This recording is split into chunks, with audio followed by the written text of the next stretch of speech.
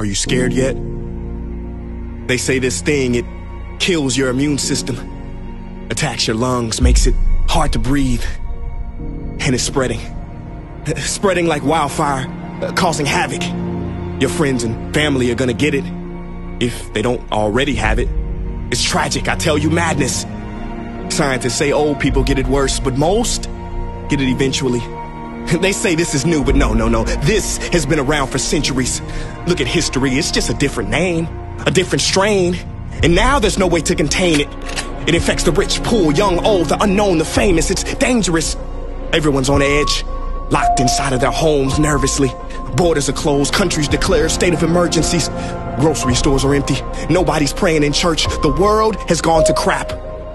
No wonder toilet paper sold out first. The stock market crashed, thousands laid off work.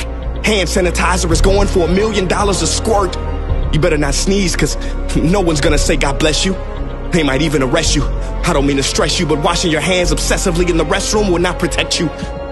Friends, I'm not talking about coronavirus. Now this is a virus even more deadly.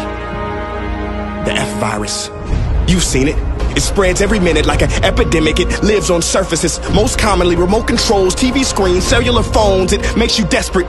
Doctors say every time you scroll down your feed, you get reinfected. It invades the brain, and when it mutates, it turns into hatred and blame. China did it. No, no, Italy did. No, no, Iran, no, Spain.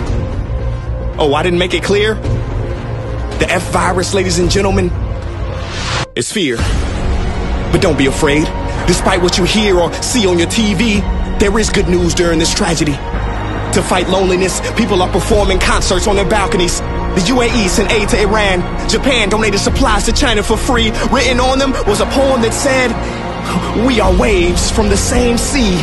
Listen to me, like every tragedy, we can let this destroy us, or we can use it to our benefit and repair relationships with our sisters and brothers, wipe away silly grudges, because when it's all said and done, all we ever really had in this world was each other. So yes, let's flatten the curve and expand our hearts. Let's social distance, boost our immune systems, be mindful of where we put our hands, but also where we put our attention. Be alert, not fearful, because the F virus is a pandemic easily transmitted. If you do contract it or exhibit symptoms, we recommend immediately dialing the hotline of a level headed friend.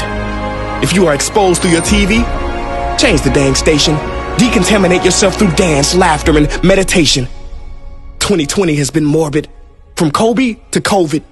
May we use these tragic moments to finally wake up to what's important.